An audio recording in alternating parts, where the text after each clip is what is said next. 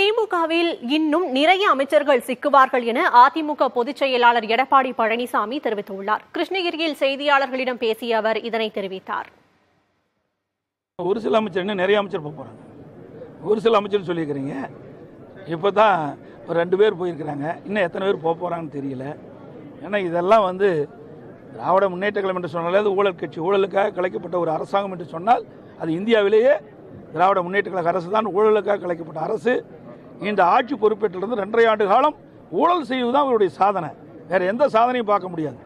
எல்லா இடத்துலையும் commission collection corruption இதுதான் அவருடைய தாரக மந்திரம்.